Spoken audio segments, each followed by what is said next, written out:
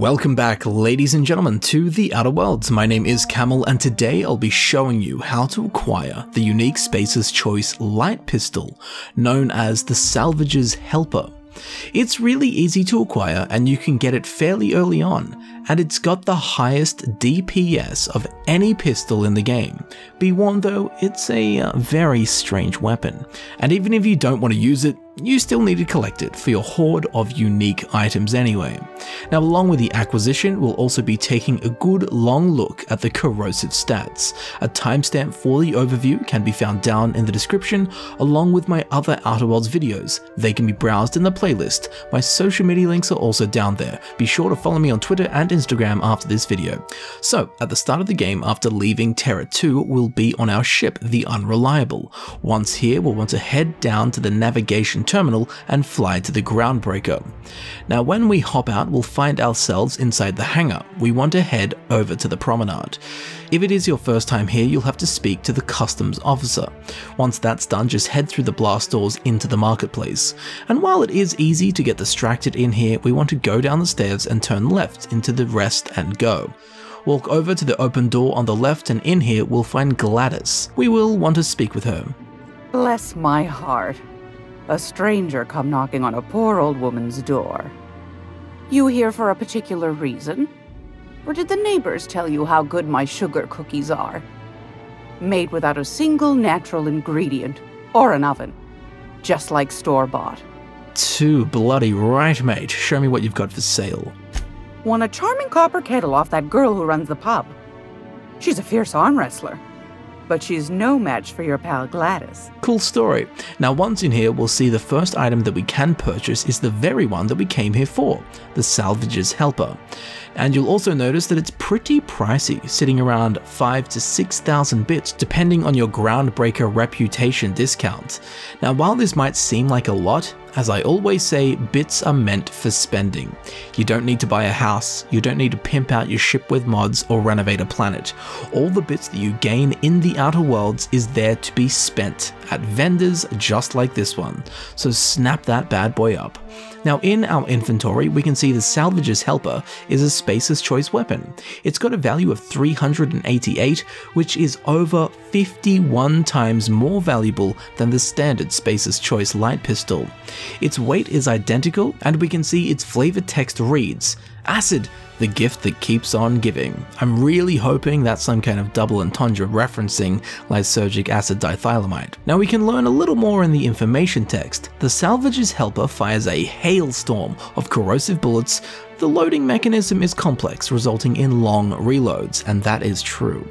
So now we'll compare the stats of the Salvager's Helper with those of the standard variant, the Spacer's Choice Light Pistol, and while the values that you see on screen here may differ to what you see in your game depending on your character's particular build, the stat differences between the two weapons are relevant to the character and will scale accordingly to yours. So the first difference we'll see is that the Salvager's Helper delivers corrosive damage, whereas whereas the Spacer's Choice light pistol deals standard physical damage. Now this corrosive damage changes the approach of the pistol quite a bit, but I'll go into more detail on that in a minute. Now as we can see the Salvager's Helper has a base damage of 32, superior to the light pistol's base damage of 20. However, you'll also notice that it has a times 6 next to it. That's because with one trigger pull, the salvager's helper fires 6 bullets in a burst. Yes, this does mean you'll probably burn through ammunition quite quickly, or at least more quickly than normal. Now this totally changes the pistol game and also makes this a very strange weapon when incorporating the other stat factors of the gun. For example, it has an ammunition capacity of 18, which is double that of the light pistol, but because it fires 6 bullets at a time, you can only pull the trigger 3 times before needing to reload. This is actually a slight issue because of its obscure nature, as the salvager's helper has a reload time of 3 seconds, double that of the 1.5 seconds of the light pistol. Now don't be fooled either, while its fire rate is 2.5 shots per second, which at first glance seems doubly inferior to the light pistol's 5 shots a second. However, this is referencing trigger pulls per second. So in reality, you can pull the trigger 2.5 times per second.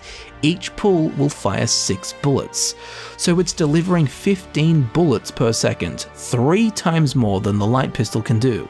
Now this combination of higher base damage and ridiculous fire speed come together to create this towering base DPS or damage per second, sitting at a whopping 480 which is almost 5 times that of the standard Spacer's Choice light pistol's base DPS. Now, while yes, this is the highest base DPS of any pistol in the game, there is another factor that we must consider that huge reload time. Once we factor that in with the base damage, we end up with a much more humble base DPM or damage per minute of 8,361, which is still greatly superior to the 3,484 base DPM of the light pistol, but the ratio is almost halved from DPS to DPM once we incorporate that reload time into the damage. Now, while the recoil is identical between the two guns, because with one trigger pull we're firing 6 bullets, you're getting 6 times the recoil. So per bullet it's the same, but per trigger pull it makes the salvager's friend feel very wild when firing, and often results in what seems like drunken pistol slinging and ferocious readjustments in aim mid-firing. Now something else is the condition. They both have 1500 as their maximum condition. However, pulling the trigger once with a salvager's friend, as we know, fires 6 bullets, and will deteriorate the gun by 14.4. This equates to a condition loss of 2.4 per bullet. The standard Spacer's Choice light pistol after firing 6 bullets will degenerate by 18 condition. This equates to a condition loss of 3 per bullet, so in actuality, per bullet, the Salvager's Helper is a longer lasting, more durable weapon. With that fire rate though, per trigger pull, you'll break it a lot faster than you would the standard light pistol. Now before we get into the juice, let's talk about the only physical difference that I can find, and that would be the green light above the trigger, portraying the fact that it deals corrosive damage. Normally there's a red strip there to tell you it's physical damage. Now let's talk about that corrosive damage. This is a damage type very effective against heavily armored enemies, especially mantisaurs, automechanicals aka robots, and of course any human enemy boasting a high armor rating. So naturally this weapon is made the most of when used against said enemies. Now something else I think that is important to mention is the DPS is super high if all of the bullets hit the target. I found it very common that all 6 bullets would not make contact with the enemy, especially at moderate to long ranges. Between you moving, the bullets moving, and the enemy moving, mixed in with that unhealthy dose of 6 bullets worth of recoil in less than a second, a few or more bullets missing during combat is commonplace. In actuality, I think it's much more practical to have a gun that deals big damage per bullet, rather than just wildly spewing green crap all over the place hoping most of them make it. Now, that big reload time is really noticeable in combat. And given you'll empty the magazine in just over a second, having to wait 3 seconds for a reload can be very deadly in combat.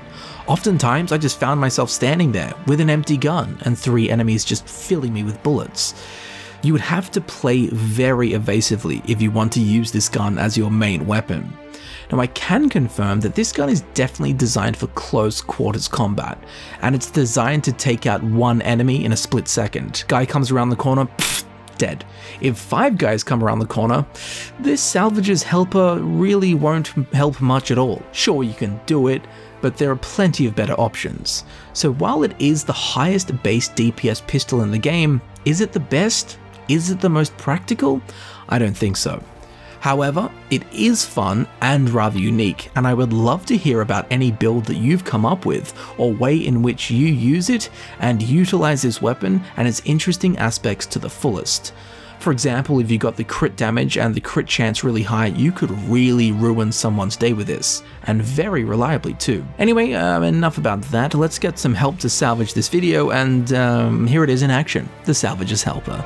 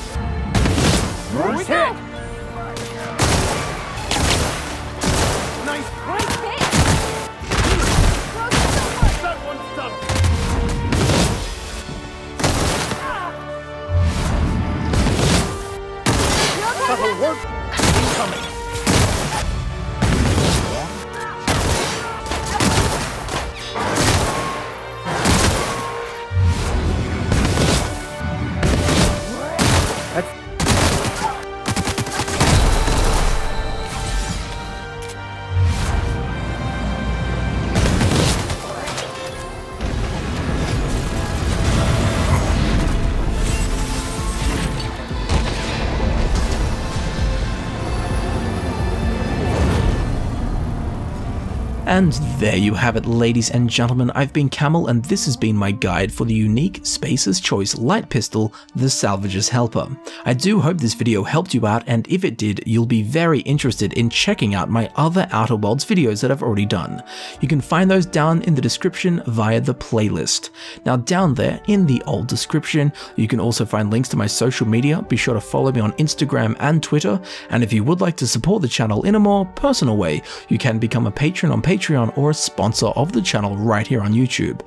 As I'm sure you know, all of my time and energy goes into making these videos that I create for you to enjoy, so your support is most appreciated and welcomed in any and all forms. So thank you very much for watching, thank you for supporting the channel, and I will see you very shortly in the next video. I'll see you there soon.